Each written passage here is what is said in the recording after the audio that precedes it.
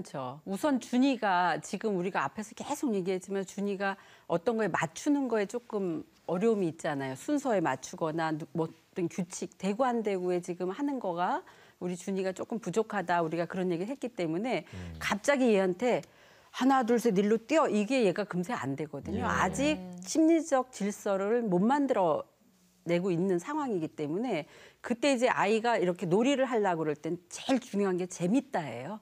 즐겁다. 엄마랑 아빠랑 이렇게 노는 건 즐겁구나. 뭔가 다른 사람과 이렇게 하는 건 재미있구나. 이게 이제 우선 생겨야 되는데 네. 거기서 이제 야단치고 왜 이렇게 해? 이거는 이제 애랑 안 놀겠다지. 그만 네, 네. 놀자가 되는 그쵸. 거니까 안 되고 그때 이제 아이의 움직임에 내가 맞춰줘야 돼요. 어 그래? 그럼 요번엔 앞으로 다시 뒤로 앞으로 하면서 아이의 그 욕구에 분명히 반응해주면서 내 주도를 끌고 오셔야 돼요.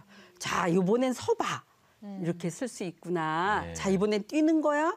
근데 뛰니까 재밌지. 아빠가 탁 안아주고 이렇게 이제 순 아이가 보이는 몸짓에 좀 반응하시면서 그 놀이를 네. 끝 끝까지 해보도록 하는 거 이게 이제 우리 부모님들이 하셔야 되고요. 네. 그 다음에 놀이하면서 중요한 건 사실은 방석 뛰기 뭐 이렇게 어떤 그 로션 이런 게 아이라 아이의 심리에다가 구조를 만들어주는 게 아니에요. 방석이 만들어주고 구조 그 로션이 만들어주는 게 아니라 이걸 할 때 엄마나 아빠가 해주는 그 신, 신호 네. 그다음에 보고 쳐다보면서 아이를 받아들여주고 안전하게 그 이- 아이가 그 놀이를 했을 때 나타나는 즐거움 이게 이제 중요하기 때문에 눈 맞춤 하셔야 되고 신체적으로 접촉하셔야 되고 거기에 명확한 구조를 주셔야 돼요. 아까 엄마가 MIM에서 준이야 이거 할까 말까 이건 안 돼요. 음. 할까 말까 해서 만약에 우리가 아이들한테 너 밥 먹기 싫어하는 애한테 너 밥 먹을래 안 먹을래 이러면 그렇죠. 애들이 안 먹어 이러면 그 다음에 대안이 없잖아요. 네. 안 먹, 엄마가 물어봐 놓고 또 그렇죠. 먹어야 돼 이러면 안 되잖아. 그러니까 이때는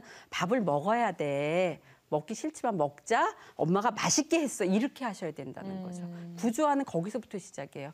어른이 주도할 수 있는 거. 네. 내가 너의 안전과 네. 모든 걸 책임진다. 이게 구조화의 시작입니다. 그